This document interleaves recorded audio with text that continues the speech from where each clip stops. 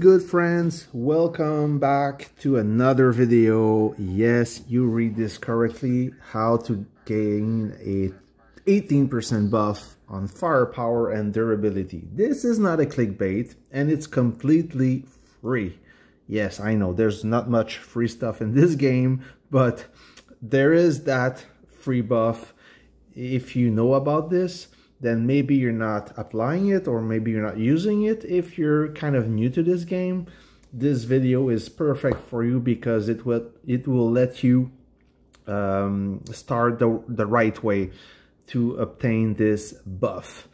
So where is that uh, power? It's hidden right there in this assembly workshop. You go to camp, camp rank, you click on this, and as you can see, all my three camps are maxed all the way okay? All the way complete to a duration five.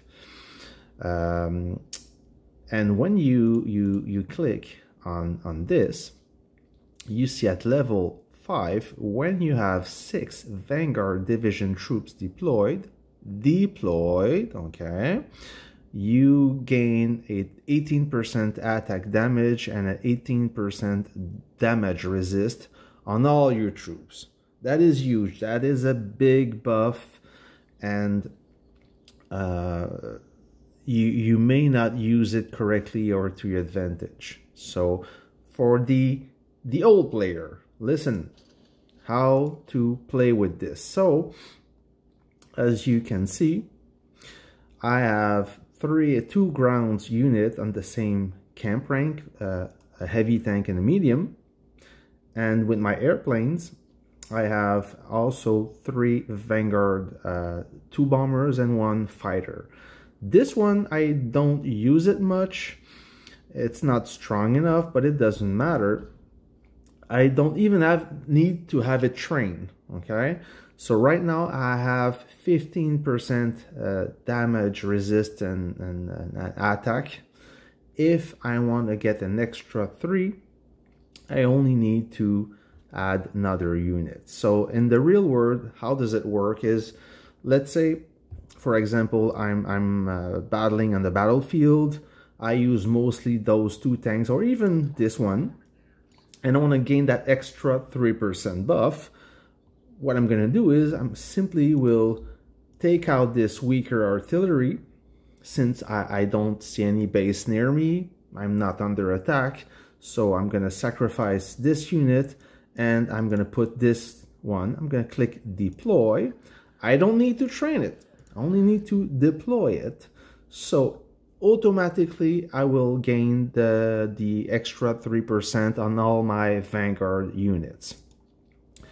Um, now, as far as I know, there's no real visual, uh, there, there's no, nothing you can tell that you gain this buff, but you do have it, okay? It doesn't affect the power, you don't see the power itself, uh, you don't see the power, but you, you have that power. I've done some tests and it does work, okay?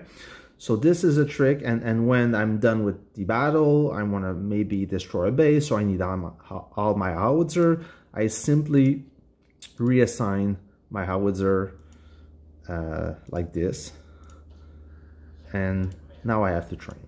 So it's four clicks to gain 3% attack damage and durability. That's it. It's very easy to do. You just have to think about it when you're on the battlefield. 3% might not be a lot, but if you want to gain that same buff by doing research, it will take you quite a lot of resources and, um, and speed up, okay? If you're a new player, now you may not have all those camp rank to uh, maxed out, okay? And this is a good way to start on the right foot. What I mean is, you have to determine which unit you plan to use the most. When I start this game, I mostly use my medium Vanguard tank because it was my, my go-to unit, was my preferred unit. So I said to myself, well, might as well have an additional ground unit of the, same camp rank. And when the the, the, the Air Force was introduced. I focus mostly on Vanguard as you see, as you can see, all my airplanes are Vanguard. So you have to pick the right unit, make sure that you're gonna use this unit for the rest, not the rest of the game, but almost because it takes a lot of time to assemble a proper unit. And then you're gonna focus on that specific camp to reach all the bonus um, possible. And how to get, uh, how to focus on the camp rank, it's easy. If, if you take time to read, if you don't, you just simply need to do those missions. You see, complete officer missions and assemble units to earn a rank bonus. So as for the missions, they're right there. You know this already. So you see this mission I, have completed. It's a Vanguard mission. So if I want to do another Vanguard mission, I, I click on this one, this one, etc., etc. Okay. Sometimes the game won't, most of the time, should I say, the game won't let you focus on all the same uh, camp mission. But if you can do a little bit more than the rest of the other camps, you're gonna grow, you're gonna reach that maximum much faster, therefore benefit from that buff, okay? Uh, and as for uh, uh, uh, units, well, you just have to focus on, on the specific camp unit. Let's say that, not let's say today is Martyr's Watch. So if I want to develop more of this camp, I will use those coupons I have uh, 153. I'm going to draw them all ideally on the recruitment drive uh, event so I can get some more uh, get get more medals, better rewards.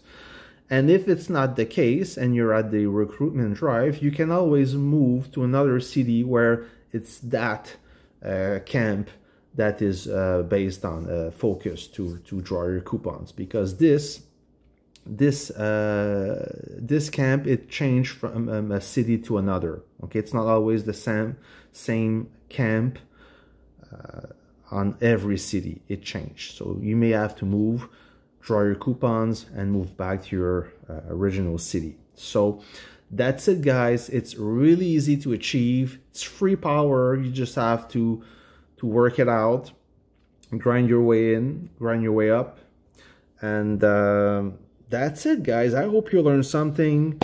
And uh, I hope you had a great San Francisco event. So that's it for today. See you in the next video. Bye.